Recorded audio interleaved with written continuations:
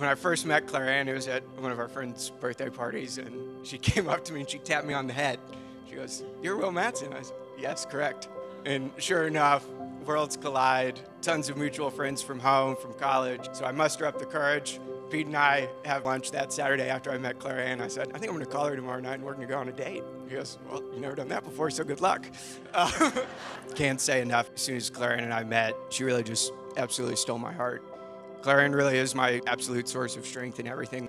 I remember things would stress me out that'd be relatively minor, but it all changed as soon as I met Claire Ann because no matter what, at the end of the day, I had her and anything could happen and I would have a smile on my face because I knew she'd be there for me.